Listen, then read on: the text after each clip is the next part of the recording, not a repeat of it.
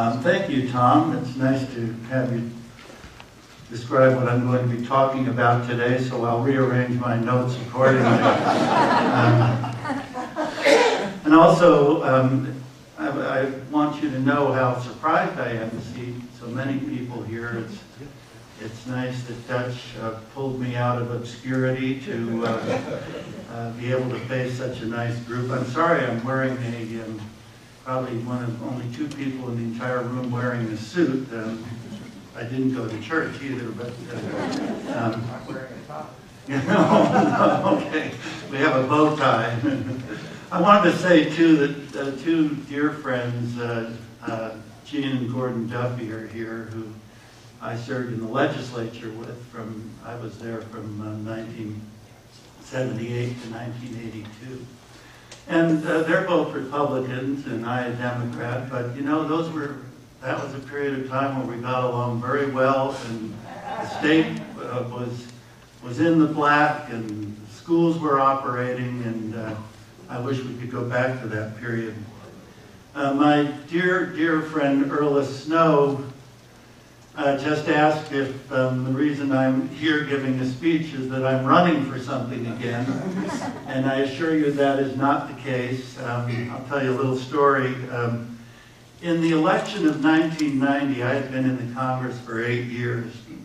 And I'd never been a darling of the most liberal part of the Democratic Party. Um, that's because from time to time I would vote for a defense appropriations bill I had the notion our country did need some sort of a military, and every so often I would uh, vote to allow at least some of the loggers up north to keep working. Well, um, this uh, stuck in the craw of a large group of Democrats, and so in the election of 1990, uh, they formed the Peace and Freedom Party. And uh, when, uh, I didn't pay much attention to it, but when election day came, uh, the Republican got about the same number of votes that they always do in the district. But the Peace and Freedom got 15%. And so I lost by a very, very small margin. And it was quite a, a surprise, certainly to me. But I determined that because of this kind of fluke that I would uh, try to get my seat back again in two years. And so um, I, I practiced law for about a year, and then when it came time to start campaigning, I hired a pollster to take a poll to see, you know, what the lay of the land was. And um, it cost me $20,000 out of my own money because, you know, when you lose, you don't have a campaign account. And um, uh, eventually the pollster called and said he had taken the poll and was going to report to me on it. I said, well, was it good news or bad news? And he said, well, it was good news and bad news. So I said, well, let's start with the good news. He said, well, the good news is that it appears that a, a, a large section of the electorate is willing to throw out the incumbent. And I said, well, gee, that's great news. You know, what more could I ask for? Um, what's the bad news? He said, well, a lot of them think you still are the incumbent.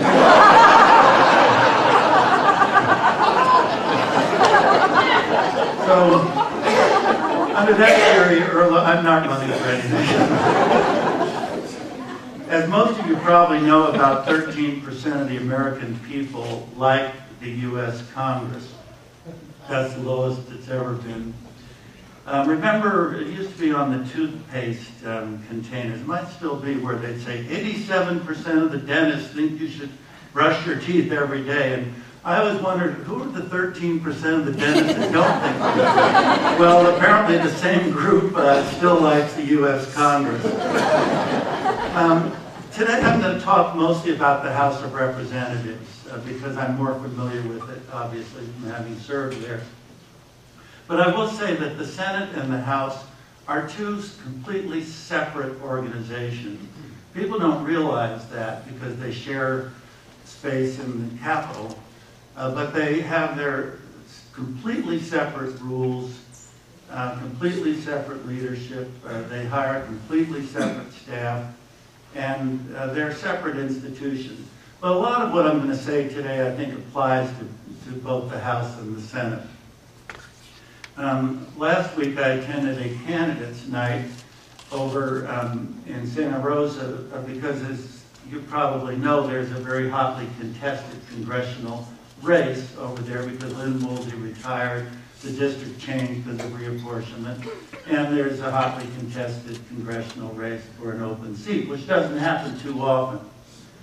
Um, and one of the candidates, who's now in the legislature, a very bright young man, um, said that if he got elected to Congress, the first thing he was going to do is go over on the other side and shake hands with a Republican. and this got uh, quite a nice applause because I think most people feel that um, Republicans and Democrats in the Congress don't like each other. You might think that from all the venom and vitriol that comes out of their mouths. Uh, but nothing could be further from the truth. They do like each other. On the average day when the House goes into session at noon and uh, a member will get up and make a point of order that a quorum isn't present, the Speaker will ring the bells. The bells ring all over the Capitol, out in the office buildings, the pagers. And the room will fill up with the most gregarious, affable, extroverted group of people you've ever seen in your life. Um, the din is amazing. It's like a high school cafeteria on the House floor with the handshaking, backslapping, gossiping, joke telling. This group does like each other. They like each other personally. Uh, they just can't work together. Um, this is because of an odd characteristic that they have, and it isn't found in most groups. They're willing to do each other in at the drop of a hat. And naturally, that does make it difficult to work together. This isn't due to personal animus, but it is due to the fact that they operate in an organization where the winner takes all. It's a sweepstakes world where if your party wins the majority, you win all the power. And if your party lose, you lose it all. To the victor be, uh, belongs the spoils, and there are no scraps thrown to the other side. There's no shared power, and an individual member of the majority party has a good chance of accomplishing his or her goals in the Congress. But an individual member of the minority party has no chance at all. He or she is like a eunuch walking the halls, uh, greeting the school kids, uh, answering constituent mail. Uh, but when it comes down to power, the minority party and the individuals in it have none. Um, while the Congress operates in the greatest democracy ever in the world, uh, the Congress is not a democracy. It's an oligarchy.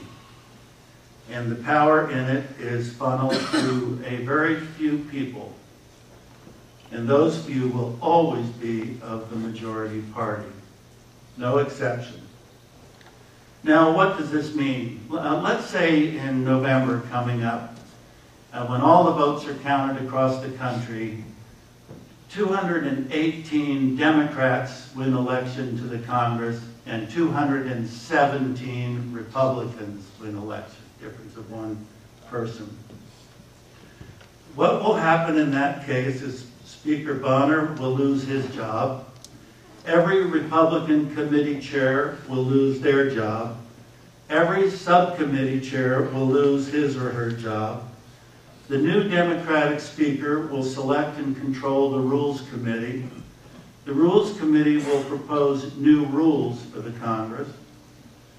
The rules will pass.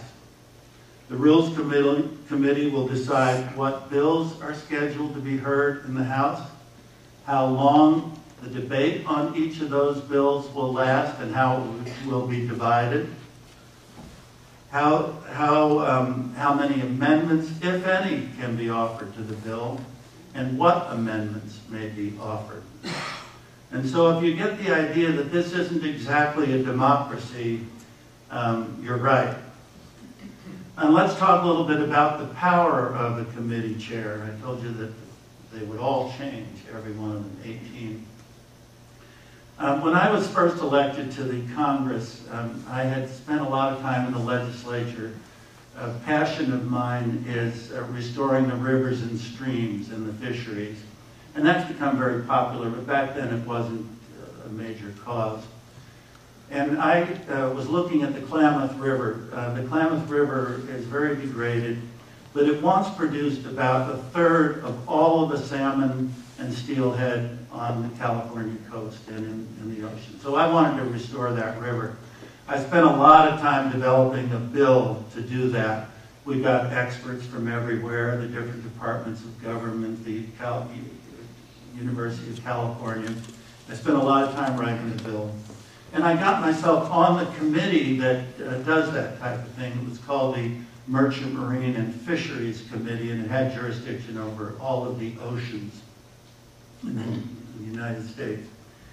Um, the chairman of that committee was a fellow from North Carolina, an elderly gentleman named Walter Jones. so I introduced um, my bill, and I waited for a month or so uh, for the hearing to be set. And as Gordon and Jean know, in the legislature where I had been, any bill that you introduce, you get a hearing on. Uh, you may not win, but you at least, the committee at least hears your bill.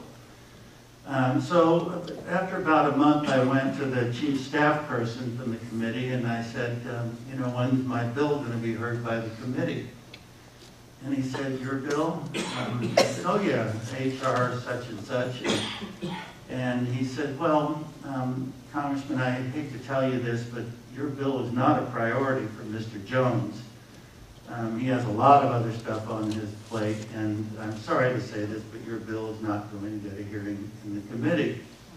Well, of course, I was crestfallen because we put so much time into this bill. Well, about the same time, about a month later, Barbara Boxer introduced legislation that would have prohibited offshore oil drilling anywhere in the United States. And uh, that bill didn't have much of a chance of passing, but um, it was very popular, of course, on the north coast of California, which was my district.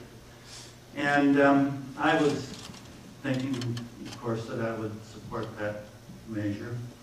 But all of a sudden, this fellow um, that was Mr. Jones's chief of staff came to my office and said, I'm, I'm bringing you a, a, message from the chairman, Mr. Jones, um, that he is very much in favor of offshore oil drilling. They have it on his coast in North Carolina. He knows all the players. And he would view it as sort of a slap in the face uh, if you were to support that bill and sign on as a co-author. And he'd like you to just um, tell Mrs. Boxer that you're not going to be supporting it. The bill will come to his committee anyway, where it will be killed in a second. Um, but he, as a favor, he'd like you not to support that bill. I thought, oh my gosh, you know, you're my committee chairman, wants me to not support it. Barbara's over here, and you know, 90% of my constituents like that bill. But I thought I'm going to be on that committee for a long time, so I thought about it and called Barbara and said, Barbara, I'm not going to be able to support your bill. And I went to um, staff person and said, you can tell Mr. Jones that I won't be supporting the offshore oil ban. The next day, uh, this fellow comes to my office and says, Mr. Jones has taken a huge interest in your fisheries bill River. he thinks it's one of the best pieces of legislation to come before his committee um, this, this year, and uh, the hearing on it will be next week in his committee. Uh, well, within uh, a month, that bill passed out of Mr. Jones's committee. He brought it up on the House floor. It passed uh, almost unanimously went on to the Senate where he helped me with it, signed into law by President Reagan. Um, so that probably gives you an idea of the kind of power that committee chairmen have in the House. And um, that power is used very discriminately in very much the manner that I just described from personal experience. When all those committee chairmanships change, uh, you can only imagine how the power shifts. And it shifts or that party that has control by a simple majority of the members that are elected. From 1931 to 1995, the Democrats controlled the House. That's about, except for two brief periods of time, that's about 60 years. And the Republicans had no expectation of ever being in the majority. And so they settled into kind of a polite working relationship with the Democrats.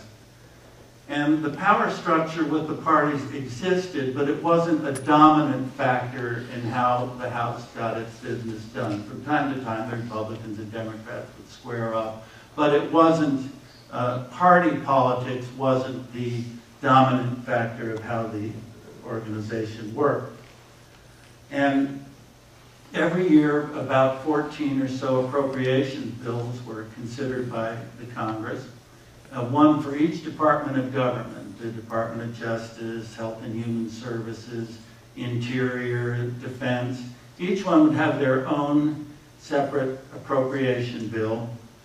And it was seen to it by the House leadership that the members had earmarks in each of those bills. Now, earmarks have gotten a very, very bad reputation. Earmarks are where members of Congress stick their special projects into a bill, projects that will usually just help their district. Um, and earmarks had a very important role because they were sort of a power sharing because the Republicans had their earmarks and the Democrats had their earmarks. And every bill had its earmarks and every bill passed. Because when some member of Congress has a project that's important to them in the bill, they vote for the bill, right? And uh, if you're a Republican and have a project in there, you vote for the bill even though it was authored by a Democrat. An example of this would be my predecessor, uh, Don Clausen, who represented um, the North Coast District for um, 20 years. And Don Clausen had an earmark uh, in one of those bills, even though he was a Republican member of Congress under Democratic leadership. His earmark was the Warm Springs Dam and can, uh, hopefully with the rain that's filling up, but can you imagine where Sonoma and northern Marin County would be today if we didn't have that dam? We'd be dry. So earmarks aren't always a bad thing, but they were frequently used to kind of promote a, um, a, a comity between the parties to where um, even though the power was in the hands of one party, the other party could benefit as these bills came around, and the other party would typically vote for those bills. Not just the appropriation bills, but uh, there, for many years there was great cooperation between Republicans and Democrats, and really important legislation passed. The Civil Rights Act, the Voting Rights Act, uh, the Endangered Species Act uh, that President Nixon um, proposed, the Clean Water Act, the Americans with Disabilities, all of those major pieces of legislation were supported in the Congress by Republicans and Democrats. You can only imagine with today's animosity that probably not a one of those uh, would get past its first committee. All of the cooperation changed when Newt Gingrich was elected Speaker. And I'm not saying it's all because of him or blaming him, but for the first time in 60 years, the Republicans weren't wandering around in the desert anymore. They had control of the House. And they liked it. I mean, all of the Democrats got wiped out of power. You know, the moving people were busy full time moving desks and chairs and everything out of those beautiful committee chairmen's offices and Republicans were in them for once. And they realized that it was very good to have that kind of power. But Newt Gingrich uh, told them that the power came not from them as individuals, but from having a group. And the important thing that that group had to do was perpetuate itself. And so the and so he instituted very, very strong regimentation, very strong discipline, and it was known throughout the Republican Party that the good had to be for the good of the group and not individuals. And a group speak developed whereby everyone was expected to stay in line because that was the way they got the power and that was the way they were going to keep it. On the other side, of course, the Democrats were now out in the desert. Uh, they had lost power completely. They didn't like that. Um, they weren't used to that. And they came to the same conclusion uh, that the only way we're going to get back is as a group, and the only way we're going to get back is to fight that group on the other side. And that didn't mean individuals. It meant a very regimented, organized way of fighting. And so the Congress really did develop into uh, adversarial, group-oriented uh, combat. And it is that way to today. today. Um, members are assigned fundraising tasks. Every, every member in the majority and minority party will be assigned a quota to raise funds, and not to raise funds for their own campaign committee, like we used to do, but to raise funds for the group. Um, I attended a fundraising event recently in Napa, and a very well attended, a lot of money raised, and the member of Congress that it was raised for took me aside and said, I won't get any of this. Tomorrow, the Democratic uh, Congressional Committee will ask me how much we raised and where's the check. Um, and the same thing, of course, happens on the Republican side. And so the, um, the goal then became uh, perpetuation of power. And legislation and the other types of things that Congress did and does uh, became secondary to that. Um, and it also um, spilled over very heavily to legislation. Uh, Congressman Thompson, Mike Thompson, told me recently that he was chastised because he had a piece of legislation uh, having to do with solar energy, and it was it was a good piece of legislation and popular. And he had made the mistake of having a Republican co-author uh, for that legislation, and um, the leadership of the Democratic Party said, we're targeting that Republican that's a co-author of your bill, so get him off that bill. Uh, that is the kind of mentality that you have now that, that Gene and Gordon can tell you we never had in the past and would have been embarrassed to have.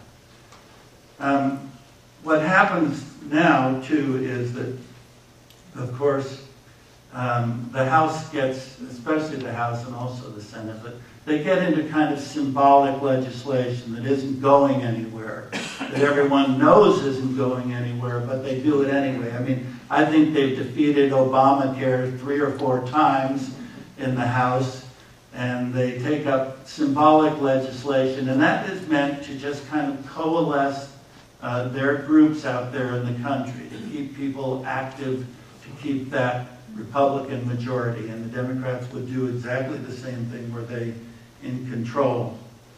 Um, all of the major legislation is stalled. Uh, they don't do any of the appropriation bills anymore um, not like we used to for each of the departments of government. They do one big bill. They call it a continuing resolution, where they take a bill that happened a long time ago and just keep passing it along at a, at a minimal speed.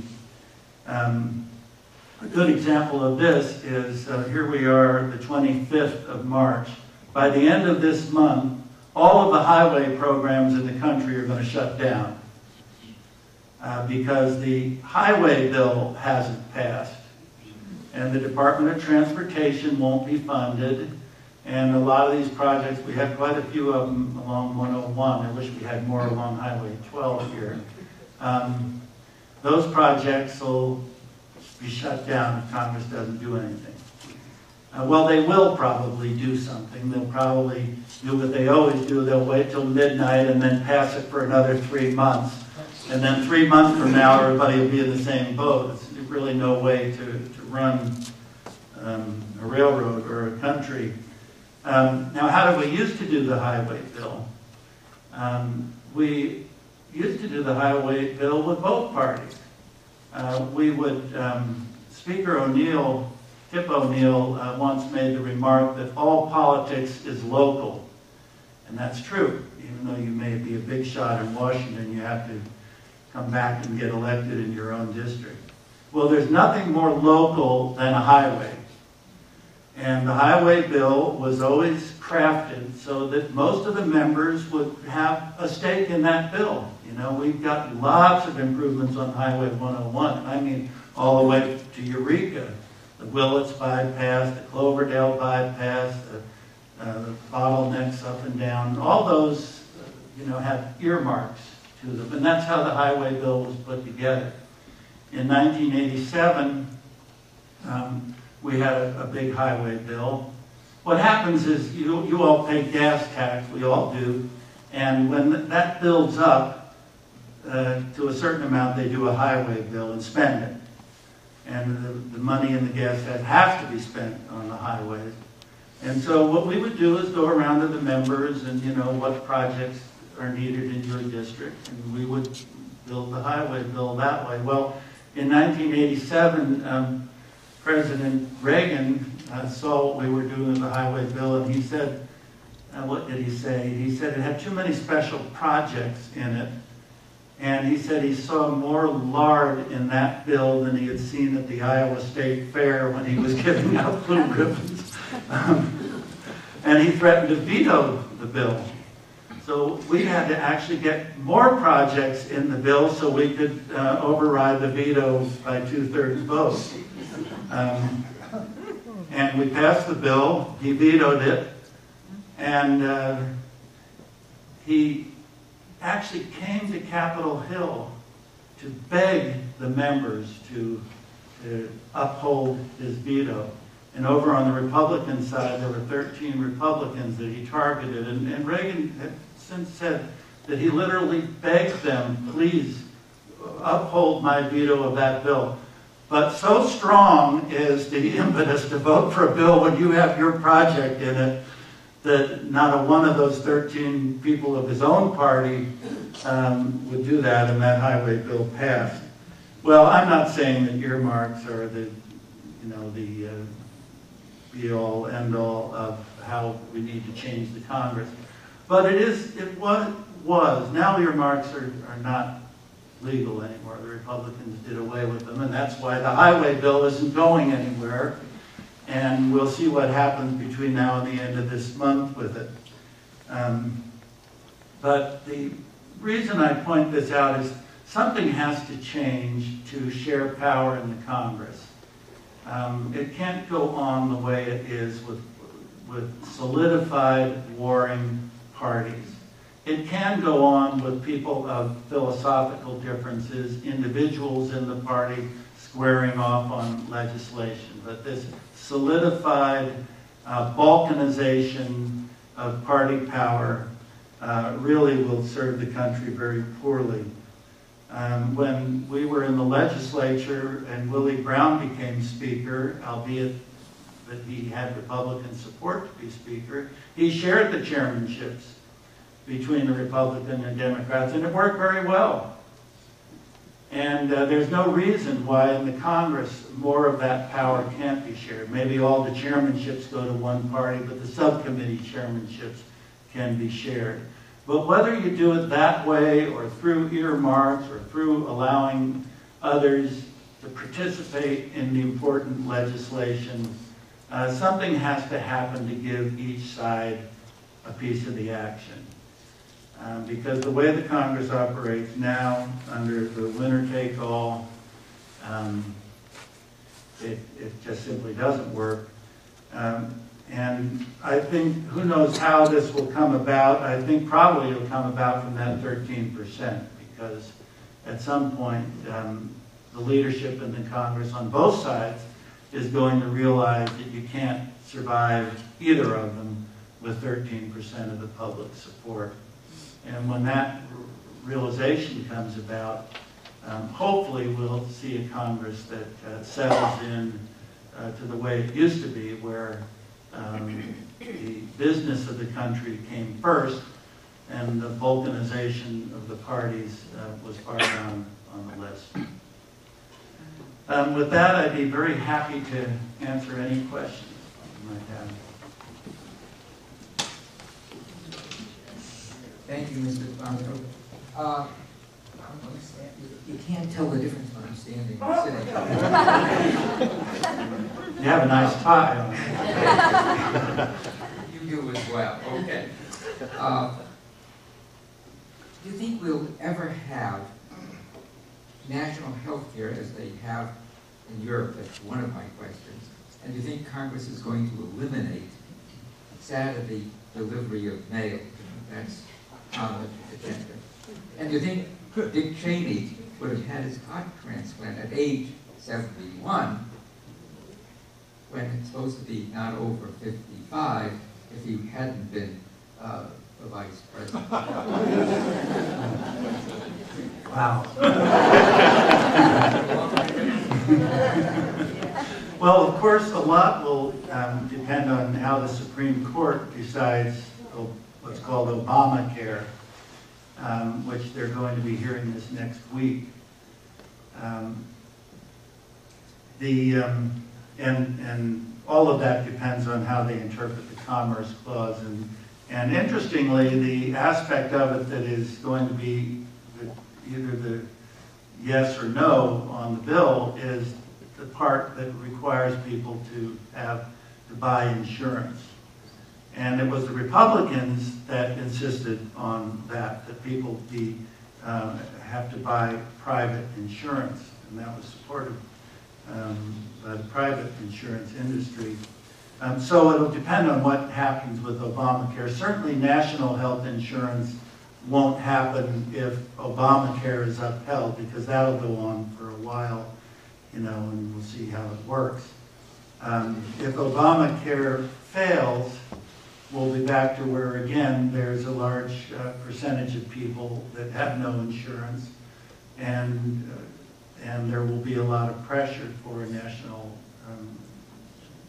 um, single-payer plan. Um, And I don't know if that'll happen, you know, it might happen sometime, but it's not going to happen in the near future.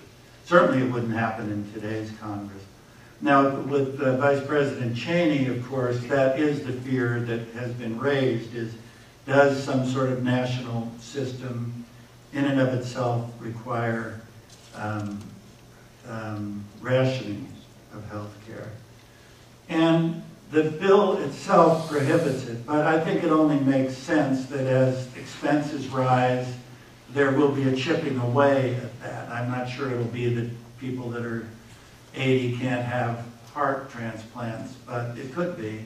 Um, I, I wouldn't rule it out. Um, Costs for healthcare are escalating exponentially, and at some point, there will be a- an impetus to do something about the costs, and rationing probably will be a part of that factor. I hope it isn't, but, you know, you can sort of see it coming down the track, I think.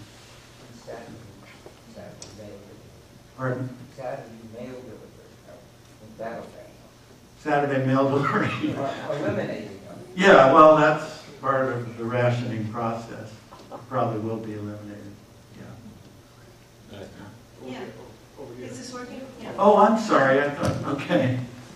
Hi, Deb. Um, You didn't mention anything about campaign finance reform, and I, I have a strong feeling that money is part of the- a deep-rooted issue here that is the elephant in the room when it comes to um, why the politics isn't working in Washington. Can you address that? Oh, definitely. Um, Money has taken a predominant role, far greater than it ever has in the past. And interestingly, um, the, the same groups support both parties. It used to be that you could sort of count that the Wall Street folks would support the Republicans and the unions would support the Democrats, and, you know, you could sort of figure out what group supported each. Now they all, it's all intermixed. And Wall Street's given President Obama as much or more money than it has his opponents. And you have these um, odd groups all over that are independent groups that are raising hundreds of millions of dollars. And none of this can be very good because the influence of money in politics is, is generally not for the broad public good, but it's for specific interests. And then the Supreme Court uh, did an incredible decision, the Citizens United decision, um, whereby it determined that corporations were actually people and had the right of free speech. Um, corporations have never enjoyed the role of being individuals. In fact, that is the whole purpose of having a corporation. The, the, the reason for a corporate structure is that individuals aren't individually liable for that business, and the corporation is. Uh, so the whole reason for having corporations was to not be an individual, and then the Supreme Court rules um, that for the purpose of giving campaign funds, corporations are individuals and have the right to do as much as they want because that is their right to free speech. Um, that will very dramatically change the political landscape. And in the Congress, too. As I mentioned in my talk, uh, the individual members of Congress are raising money like crazy now. And, you know, um, when all those interests pour into Washington, it, um, it uh, doesn't bode well for the average person and the type of thing most Americans want to see done. I mean, here all over the country, you had foreclosures and aftermath of the terrible banking um, uh, collapse.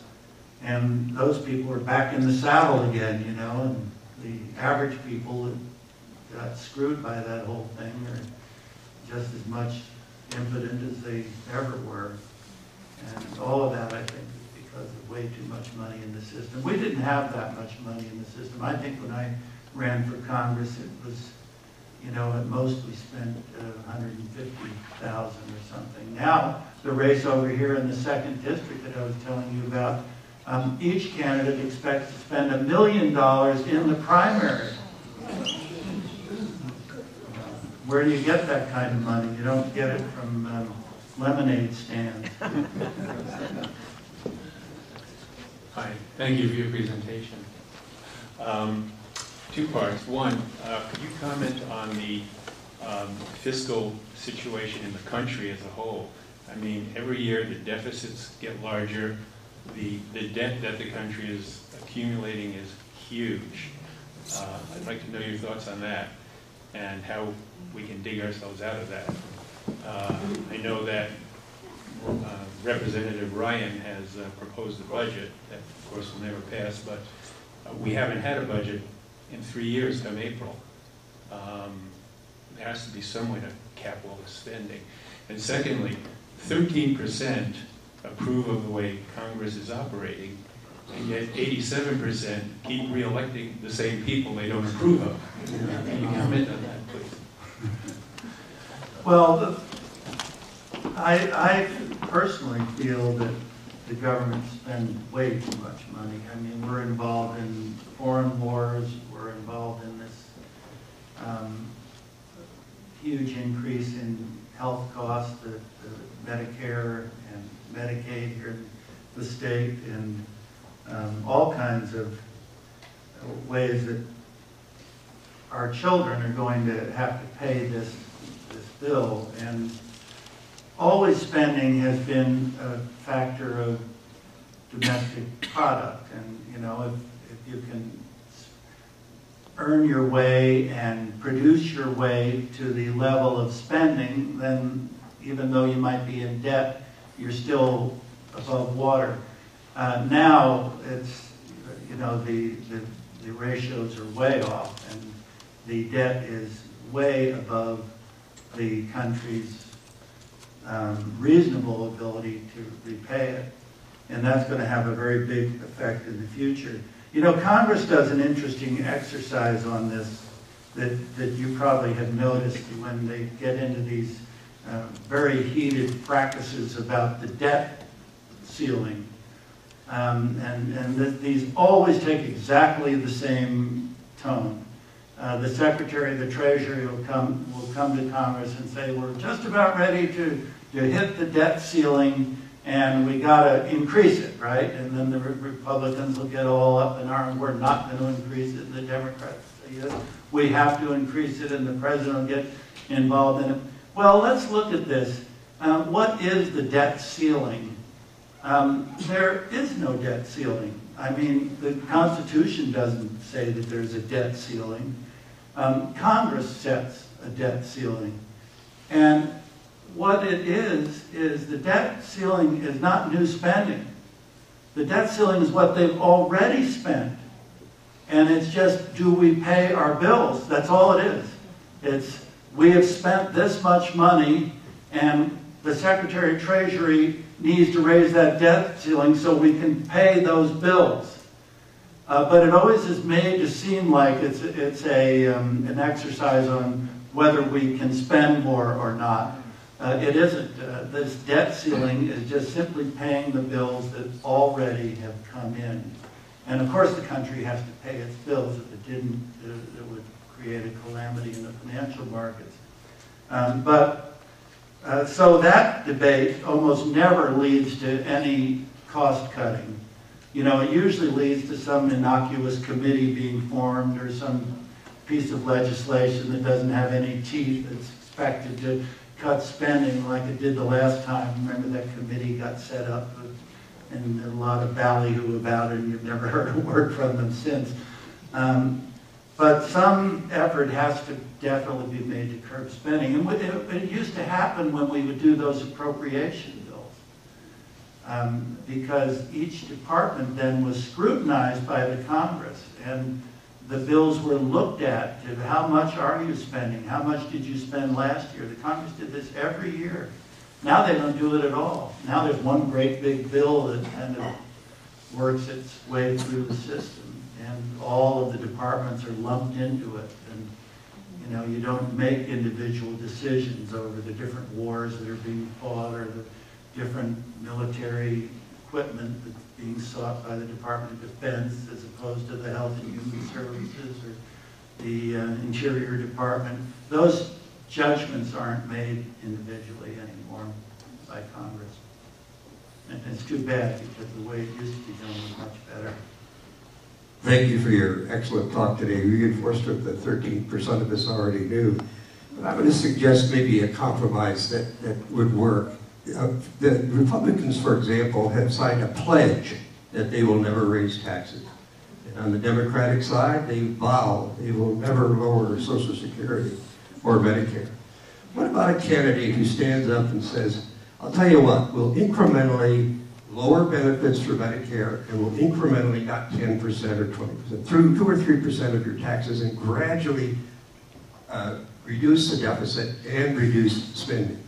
And he doesn't have to be Republican or Democrat. I think that's the candidate I'm looking for, is someone who will walk into Congress and say, I'm going to do both. I'm going to cut spending and I'm going to also uh, cut uh, the uh, entitlement programs. Would that work for our candidates?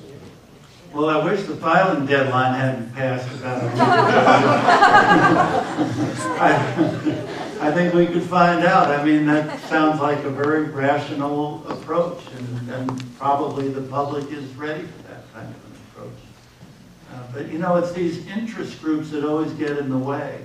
Um, that uh, that focused interest groups seem to have, especially if they're well financed like they are now, seem to have much better inroads than the public as a whole uh, to those kind of reasonable solutions. And certainly with this balkanization that there is now, something like that wouldn't happen. I have a two-part question. Uh, The first question is, why are congressmen and senators immune from prosecution for insider trading, where as it's a criminal offense for anybody else? And the second question is to follow up on what this gentleman just said. The no tax increase pledge pledges are made to Grover Norquist. Would you care to comment about his influence on the Congress of the United States? Yeah, that's a very good question. Um, uh, First, about the um, insider trading for members of Congress, and I think it hadn't ever occurred to anyone that the votes that you take on committees, especially if you have control over the outcome, uh, can easily have uh, very direct impact on the markets and on individual stocks. And um, it, it never had come into anyone's thinking that legislators or members of Congress uh, somehow would um, would be involved in insider trading. Uh, but it's certain, but uh, I believe, and and I don't know if it already has passed or it will, but there is legislation now to prohibit insider trading, and I'm, I'm really sure that it'll pass um, because um, it, it would be a terrible practice. Um, the um, I'm sorry, the second part of your question. Oh, Grover Norquist. Um, when, when you run for Congress, any candidate for Congress will get questionnaires from every conceivable group that there is. The ACLU, the Sierra Club, the Bankers Association, the insurance industry, and you're expected to fill out those questionnaires. And these groups tend to expect 100% um, fidelity once you've once you've agreed to something on these forms, and that follows through.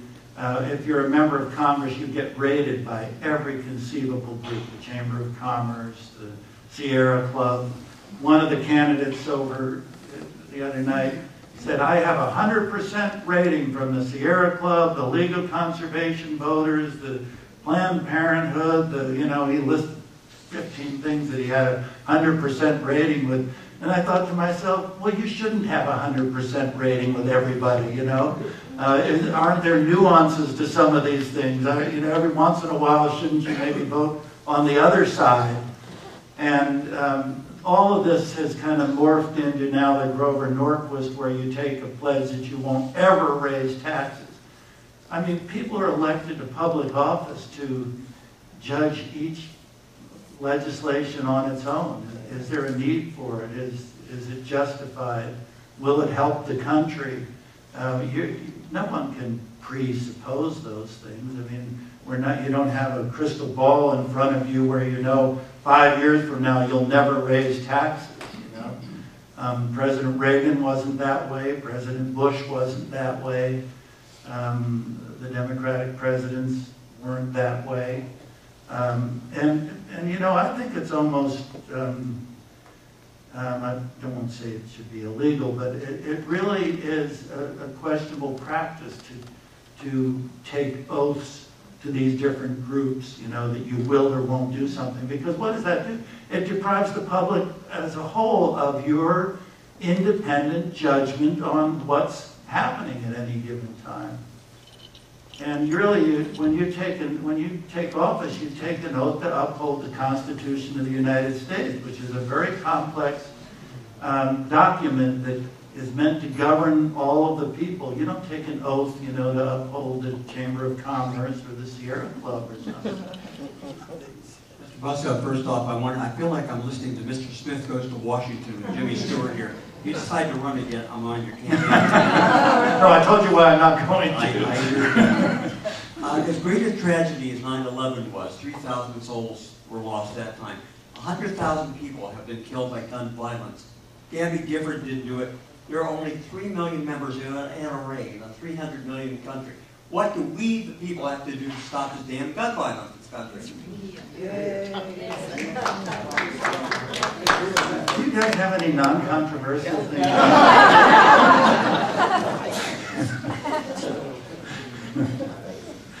well, um, you're speaking to the choir too. I, um, I have gone through periods of my life where I hunt, and I like the outdoors, and I'm not against hunting. I I am not against having a rifle, I'm not against um, self-protection, but it's really gotten way beyond that, you know, where we just have way too many guns in the hands of way too many disparate people, and it's starting to show up everywhere. I mean, look at what happened in Florida. It's terrible. Um, and President Obama, I think, was very poignant on that subject. Um, but there again, you know, you have extremely strong lobbying, the gun interest, just very heavily financed. And a lot of the NRA money comes from the gun producers. You, know, you talk about the Citizens United, that all is part of that. You know, those corporations now can give as much money as, as they want. Um, um, I don't know, you know, the uh, Brady bill and those type of things were uh, good approaches, I thought. I don't know what's going to happen. We're helpless. Could be. Doug, thank you very much for your, your talk. Uh, At this point in our history, do you see any prospect for an active third party? An active third party. Well, of of course, you're asking someone that's rather jaundiced about that, given the story I told you about my election in 1990. Um, An active third party.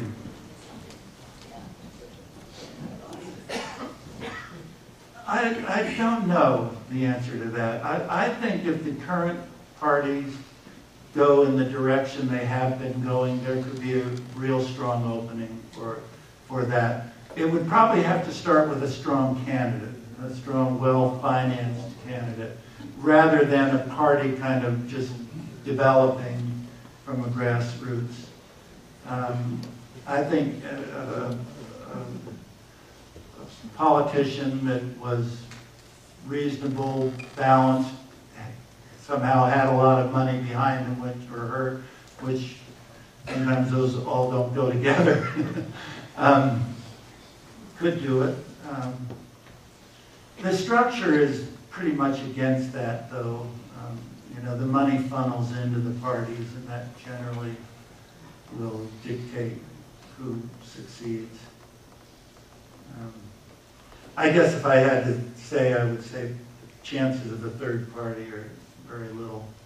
In California now, you know, we have a, starting this June, we have a whole new system of nominating people. And that may result in more moderate people on both sides being nominated. Because it used to be in the primary where the Republicans would nominate a candidate, the Democrats would nominate a candidate, and they'd run against each other in November.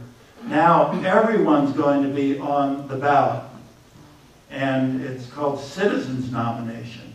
And so people will vote for whomever they want on that ballot, and the top two will, will run in November. And the top two may not be a Republican and a Democrat. It uh, may be any, maybe two Democrats, two Republicans, an independent and a Republican, or any combination thereof. So that's expected or hoped that that will allow more moderate people to get elected. Because as it works now, generally the most liberal Democrat gets nominated and the most conservative Republican gets nominated. And at least in our area, the most liberal Democrat wins. Um, now it could be that a, a conservative Democrat and a liberal Democrat running against each other. And then the Republicans have a choice between those two. Um, and so therefore the Republicans would have a little more power in the election. One of my pet peeves of Congress has been the seniority uh, system. My experience at the university is because you have seniority, it doesn't mean you're the most energetic, creative, or enlightened. Would you respond to the effects of the seniority system? Well, the seniority system lasted for a long period of time, and it had some benefits. The benefits that it had is the committee chairmanships and subcommittee chairmanships were automatic. And therefore, there wasn't a whole lot of acrimony in the group as to who got those plum positions.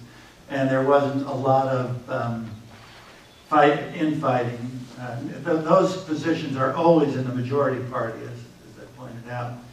Um, The bad part is, as you say, you, it's not a meritocracy. Uh, You, you rise to the top uh, basically by longevity.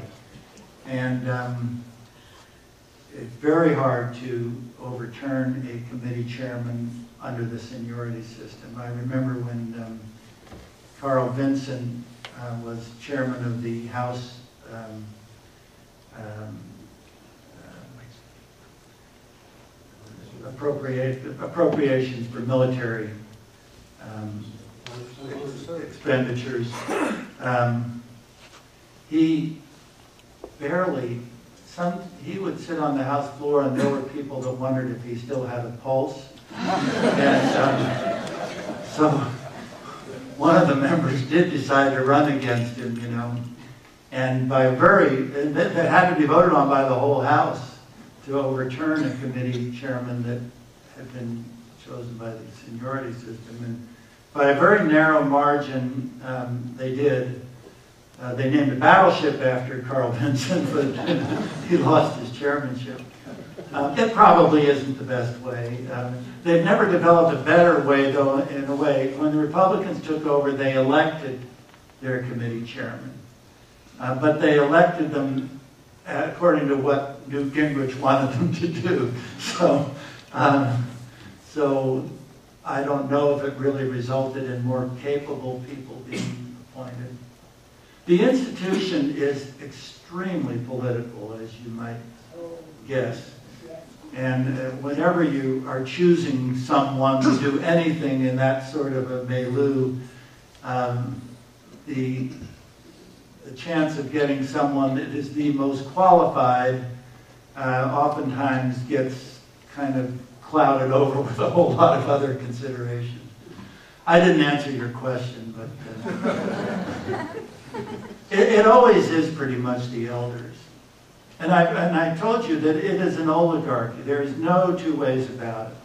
Um, it's not, the Congress is not run as a democracy. It is an oligarchy that is controlled. About 20% of the members of Congress control the whole place.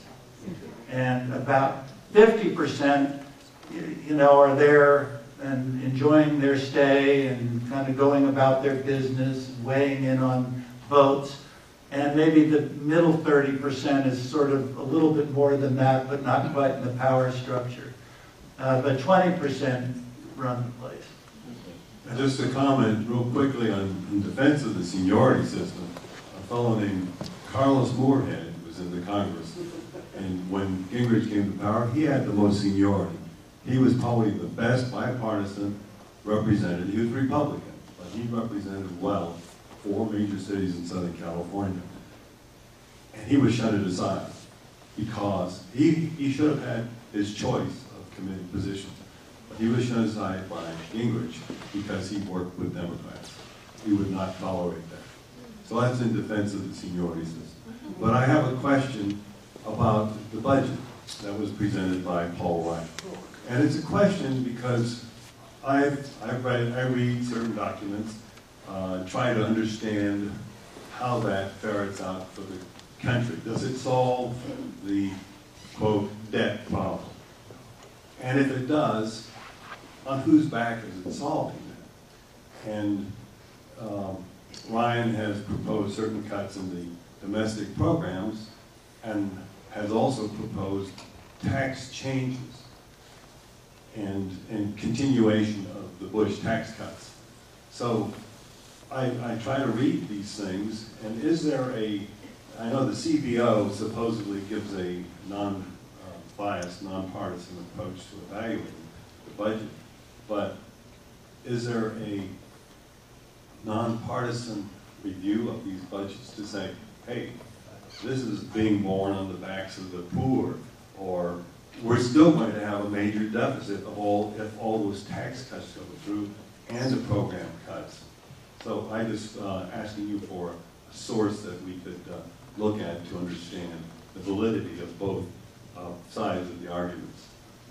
Well, the Congressional Budget Office was set up to be an independent voice on that very subject, to analyze the budget, determine who benefited from it, who didn't, and what effect it would have on the overall deficit.